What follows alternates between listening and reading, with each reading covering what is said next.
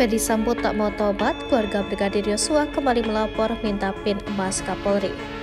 Seakan merasa tak puas dengan vonis hukuman yang diterima Fedi Sambo, keluarga Brigadir Yosua kembali melaporkan Fedi Sambo ke Polres Metro Jakarta Selatan. Lalu, apa yang menjadi materi laporan dari keluarga Brigadir Yosua ini? Hal itu dijawab Kamarudin Simanjuntak sebagai kuasa hukum Brigadir Yosua. Mereka menilai bahwa tidak adanya pertobatan yang dilakukan Fedi Sambo sehingga hal ini yang membuat keluarga Brigadir Yosua kembali membuat laporan. Kamarudin, hal yang dilaporkan yakni terkait dengan dugaan tindak pidana curian atau pencurian dengan kekerasan dan atau tindak pidana pencucian uang terhadap almarhum Yosua. Dikatakan Kamarudin, pihak keluarga Brigadir J sebelumnya sudah memberikan peringatan selama 8 bulan terakhir, namun tidak ada niatan baik untuk mengembalikan barang-barang milik Brigadir Yosua.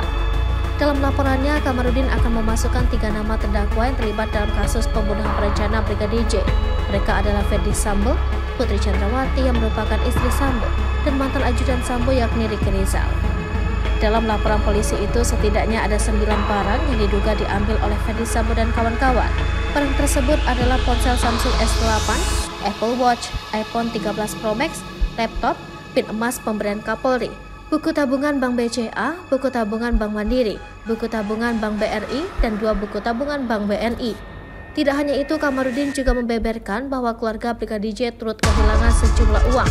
Total uang yang diambil oleh Ferdi Sambo dan kawan-kawan berjumlah 200 juta rupiah.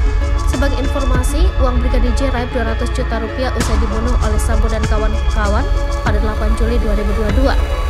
Diberitakan sebelumnya, Ferdi Sambo difonis hukuman mati dalam kasus pembunuhan berencana terhadap ex-ajudannya Brigadir J.